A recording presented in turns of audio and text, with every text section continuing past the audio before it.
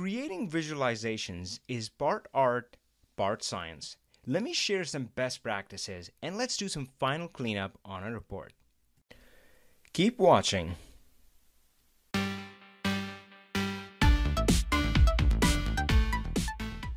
So here we have our overall elements. Now I'm gonna go ahead and do some tweaking. Notice the titles here are font size 11. These ones a little smaller. And then I'm gonna uh, add this background shape here to kind of highlight the total numbers up top.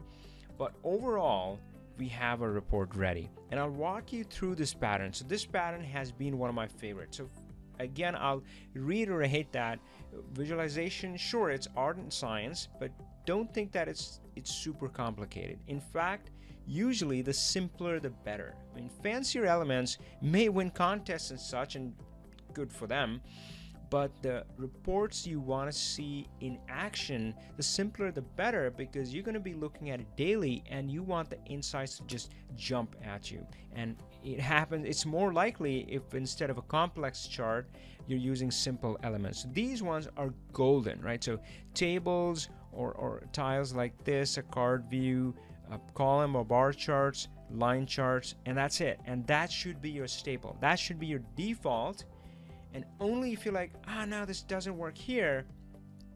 And for a specific purpose you should use a fancier chart. Don't feel like you have to use fancy visualization just to make it fancy.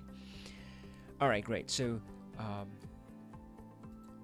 so I'm going to fix some of those elements. I'm going to speed it up uh, and I'll see you at the end of it